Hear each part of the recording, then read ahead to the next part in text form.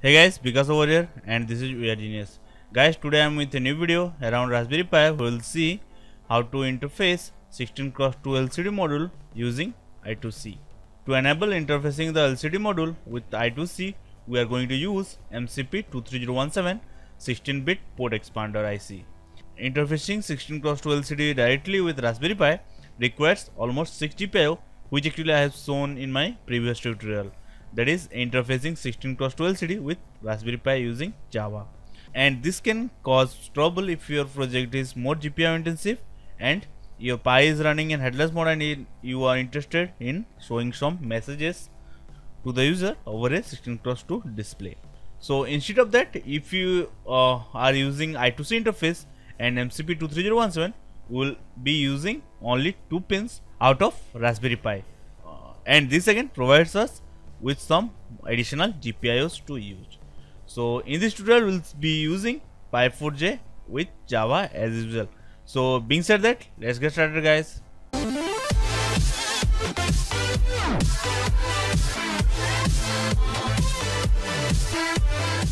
Uh, so guys over here is the circuit diagram to connect the 16 x 2 LCD with MCP23017 which again connects to the 40 pin GPIO header of the Raspberry Pi.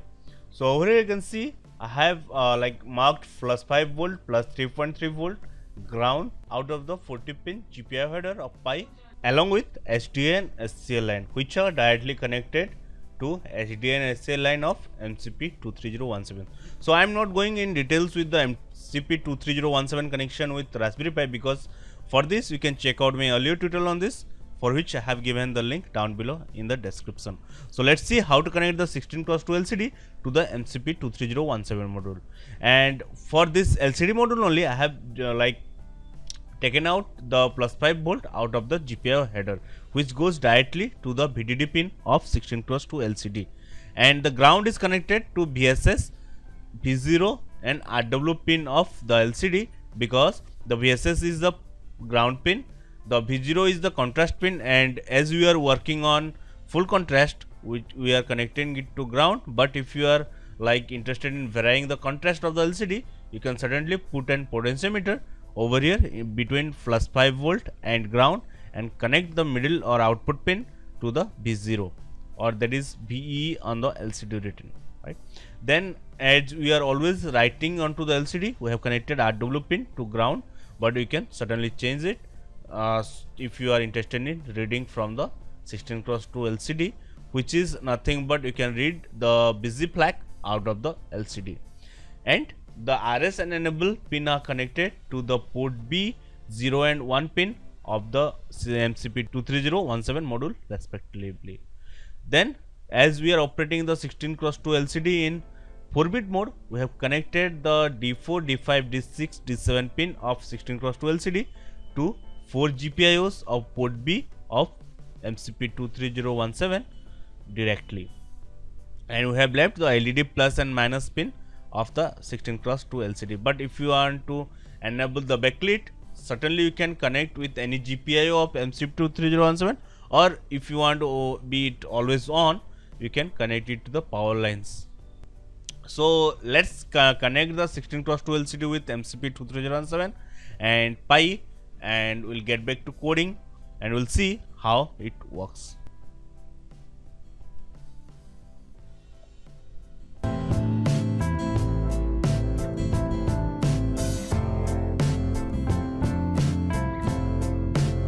So guys, I have made all the connection and as you can see it's a bit messy over here.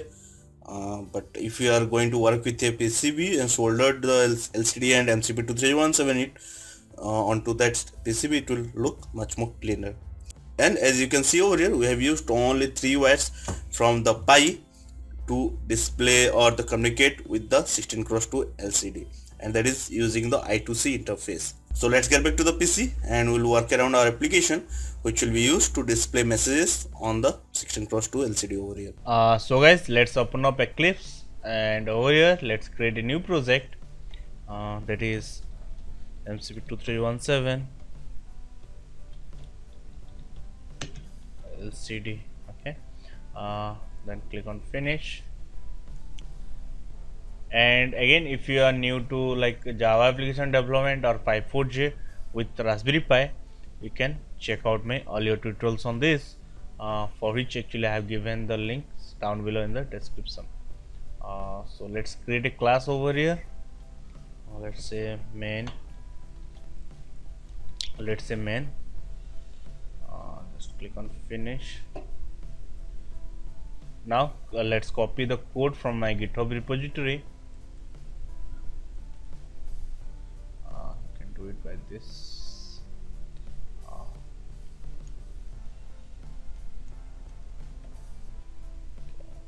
just paste the code over here. Uh, just need to I'll just rename the class name.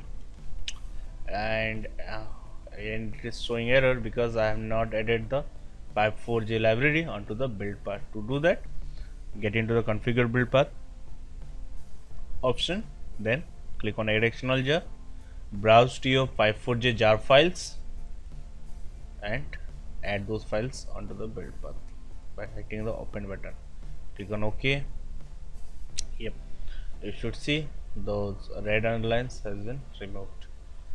So uh, let's go through the code but before discussing as I said earlier this uh, particular LCD interfacing over here with Raspberry Pi is done by using MCP23017 IC and that is the 16-bit port expander.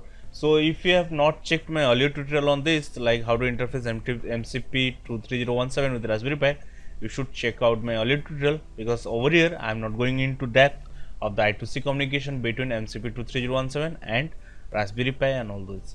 I'll just have a brief uh, like description of this code and how it works. Uh, so make sure to check out the earlier tutorial. So by setting that let's check out the code and how it works. So over here these are couple of uh, like uh, variables then that is like rs flag and enable flag for rs and enable pins okay then i2c device is the object that holds the i2c device or the device you want to interact with for our case it is mcp2317 then lcd line address this array holds the addresses of the two lines or the two rows of the 16 cross 2 LCD. Then LCD CHR, LCD CMD, uh, those holds true and false and they determines as we are sending data or we are sending a command to the LCD. Then over here I have defined different pins. Those are connected to MCP23017 of the LCD. So uh, if you have connected uh, like in different arrangement make sure to change the pin numbers over here. Like uh, for port A 0 number pin the value goes to 0 similarly for port B 0 number pin the pin number goes to 0 and it continues to up to 7 okay. Then coming on to the main function over here I have just made a statement that prints out starting of the MCP23017 onto the terminal when it is executed then an I2C bus takes the like I2C bus interface and by using this bus we can interact with the I2C interface of the Raspberry Pi. Then dev bus get device 0 cross 20 returns us the MCP23017 handle to us and by using this dev object we can read and write onto the MCP23017. Then dev dot write 0 cross 01 byte 00 makes the port B of the MCP23017 as output and 0 cross 01 uh, like indicates uh, it corresponds to the data direction register of port B. So while setting 00 it makes as output and over here as we are interfacing LCD we don't need any input pins of port B. Then again if we have used uh, like port A for this you can change it to 0 cross 00. Then I2C LCD display over here have created a object of the same class.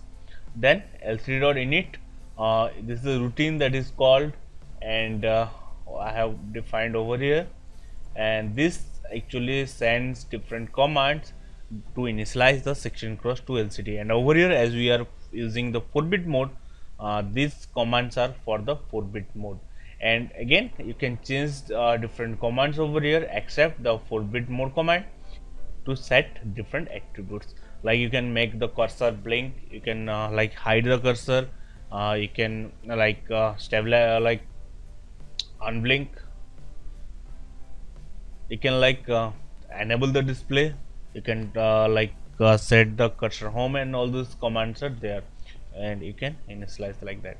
So and then apart from this init routine over here there are different other routines that help us to uh, like interact with the LCD by using the MCP 23017 so I'm not going into details on all other functions. Uh, you can check out yourself. I have pretty much commented everything which function does what. Then over here coming into the main function then you can see lcd dot lcd byte. And over here I have mentioned lcd command. This the 0 cross 01 is a command that we are sending. And this stands for lcd clear then lcd 0 cross 02 stands for lcd home. That means it will set the cursor position to the first location of the lcd that is 0th row 0th column. Then lcd dot write takes a string uh, text a string and it prints out onto the lcd then by using lcd set cursor position you can set change the position of the cursor. And as you change the position of the cursor the next string you are sending will be printed from that location and over here it's a while true statement that executes forever and it prints out different strings onto the LCD. So let's compile the code and we'll create the executable jar file and we'll and clear and we'll create the executable jar file and we'll send it into the pi and we'll run it there uh, again if you are new to java and Pi4J you should check out my earlier tutorial how to do this. So let's select this one. Click on finish. Yes yes.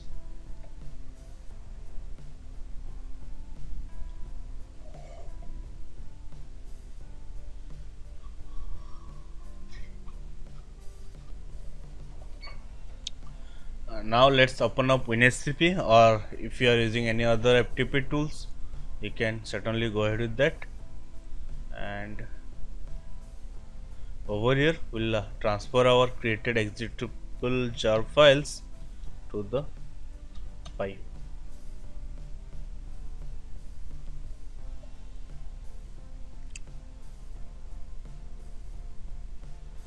then select these two files over here click on upload and let's open up putty over here to run the particular jar file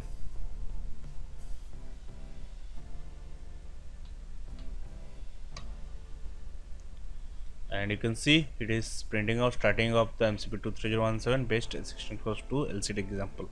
So this application has started running and let's check out on the LCD if it is printing out different statements as we have uh, like programmed in our application